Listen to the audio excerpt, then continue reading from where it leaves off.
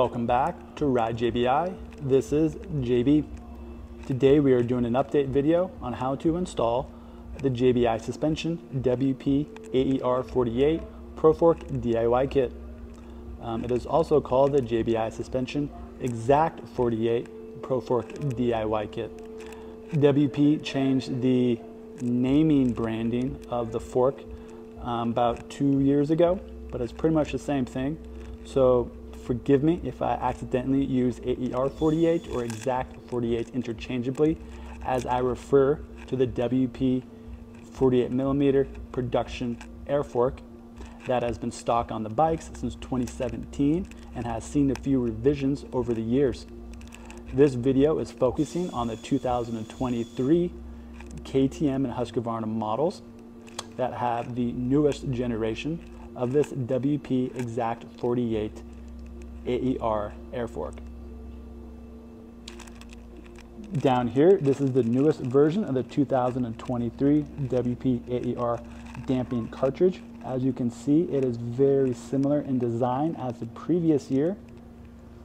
The main thing that sticks out is we can see that this bottoming cup has been added to the bottom of the damping cartridge rod as that is not there on the previous version. On the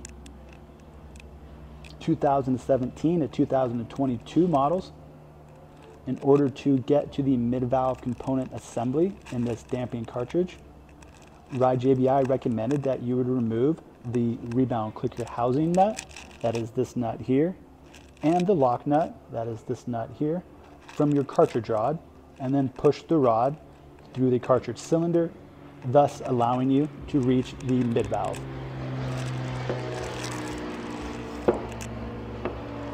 That piece right there. It's a little loud today. We got a lot of planes taking off at the airport above our shop. Well, when WP added this bottoming cone onto the cartridge damping rod, they also used a ton of Loctite and heavy torque in order to ensure that this bottoming cup never comes loose. So while this can be removed with proper tooling and lots of heat, it is also going to leave a lot of Loctite on the threads. And it'll surely damage the seal if we were trying to remove the cartridge rod through the seal head like we do on the previous version. So instead, we're gonna leave this assembly together and we're going to remove this snap ring, remove this black piece, and that'll allow us to get to these two flat faces. And we will unthread what we call the cartridge cylinder head from the cartridge cylinder. So before I do that, I'm going to get this cartridge mounted up into our vise. I'm going to move our compression assembly just like we would on our previous versions as the install is identical to those. And then we're going to get this mounted up in order to remove this. All right, so I have the cartridge fixtured in our vise. Not everybody's going to have a vise like this. So what I want to point out is I don't really have the cartridge clamped that tight because it is round and the walls of this cartridge cylinder are very thin. So mainly I'm just using this vise to hold the cartridge in place for me.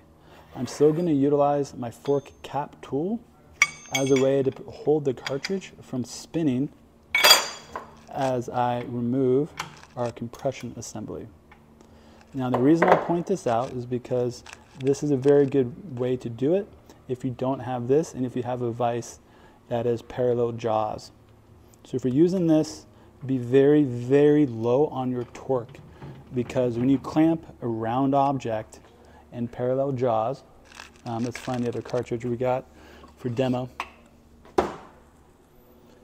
If we clamp this round object on these parallel jaws, we're going to be applying a lot of force just on two sides of this, and it's going to easily out of round. So if you do use this, clamp it very softly, just so that way you can hold a fork cartridge and then utilize your fork cap tool as the way of holding the cartridge from spinning as you remove the compression assembly. So again, this isn't torqued very much in there at all. I'm going to use the fork cap tool with one hand and the compression removal tool with the other in order to safely remove it. All right, we have unthreaded our cap. We can see the O-ring has popped up. So now the easiest way to get that out is we're going to push up on our cartridge rod at the bottom. Now do it slow because you can feel some pressure against. If you do it fast, you're going to shoot that cup out the top and you're going to get oil everywhere. So go all the way up until it stops. Boop. There it goes. Now let's go back up and see what we got. Awesome. So now another reason not to clamp this too tight is if you do have this clamped too tight, it's to be really hard to pull this out. So I'm going to attempt to do this one-handed. Usually I use two. But the main takeaway is that as we pull this out, we're creating a vacuum underneath this. So it wants to suck this back in. So take your time. Kind of wiggle it back and forth and pull up. Stop for a second, let the pressure equalize. And then wiggle it back and forth and pull up a little more. Let the pressure equalize, and you can kind of work your way out. The reason you want to do this slow is because you don't want to yank it out really fast and damage one of the O-rings or piston bands that is located on this compression assembly because you'll drag it against one of the threads or sharp inner corners.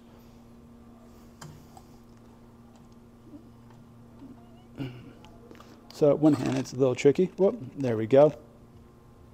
So we got it out. Again, use two hands, don't do what I'm doing. And cool, so now we have our compression assembly.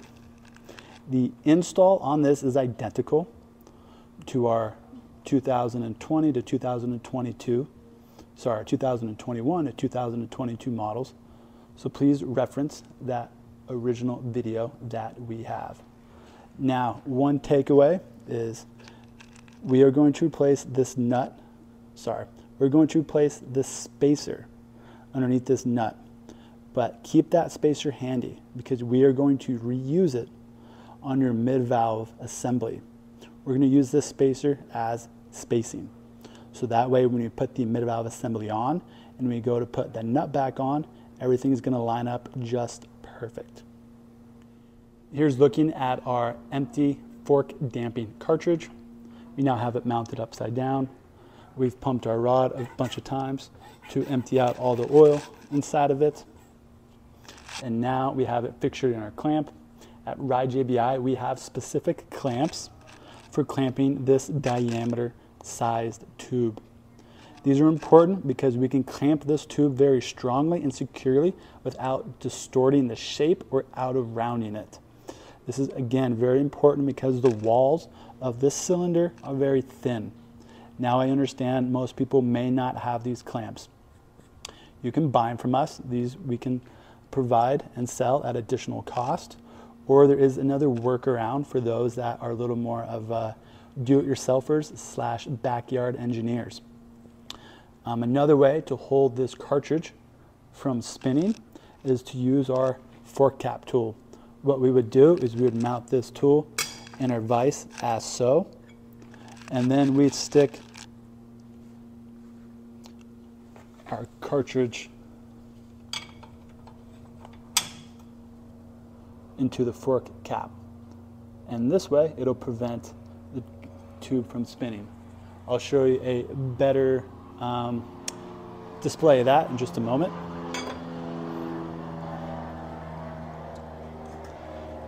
Next, we want to get off this snap ring right here. This comes off very, very easy. I recommend using two hands. I'm holding the camera with my other hand so that's why it went flying. But do use two, so that way you don't have to go digging for the snap ring and find where it went.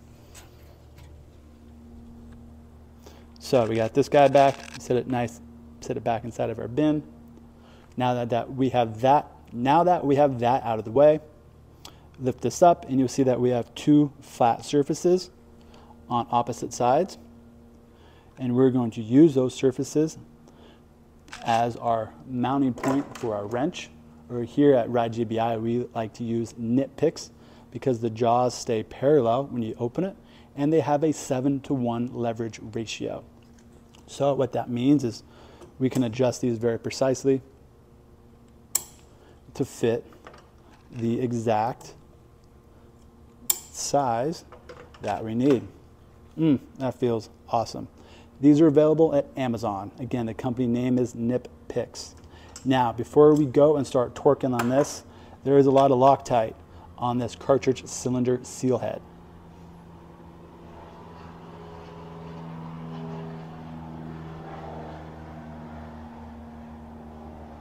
So we are going to warm this up first to loosen that Loctite. Now keep in mind this piece is made out of plastic. So what we like to do is take a rubber band or a zip tie, put this plastic piece up there and put that rubber band or zip tie right here. So that way it holds this plastic piece out of the way while you heat up this region. Now another tip, there is a seal located inside of here. It seals around our cartridge rod. If you get this too hot, you will melt this seal. Not the end of the world. We have replacement ones, but ideally don't melt it. Now, heat goes up. So what we're going to do is we're going to locate much of our heat in this region and around this uh, recess cut. Because as we heat it up, the heat will move upward. And we're keeping some good distance away from our seal that is on the inside. I'm going to take a pause, get this thing mounted up for heating, and then tune you guys back in. Okay, before we move this cartridge cylinder seal head, I wanted to show you the alternative method for another way of holding this cartridge from spinning while you spin out our cartridge seal head. So again, if you don't have the shaft ball clamps like we showed over here, this is an alternative method. It's not the recommended one, but it does work and usually it works best with another set of hands and a helper. So as you'll see, I have the fork cap wrench mounted inside of the vise. And what we can do is then we can interface our cartridge into there, and that is going to prevent this from rotating. It usually works best with two people. You can have one person pushing and holding this cartridge into the fork cap wrench so it maintains a good fit. and then have the other person heating up this end and then beginning to unthread the cartridge cylinder seal head. The reason this isn't the recommended way of doing it, one is the cartridge can slip in here and get damaged and or if you don't heat this up enough, by this I mean the cartridge seal head, what may happen is this lighter silver piece may start unthreading from our cartridge tube, this darker gray piece. And we don't want that to happen. So again, this isn't the recommended way of doing it, but it does and can work. So we're going to remount this back up like we did and get out our cartridge cylinder seal head. So that way we can get to our mid-valve assembly.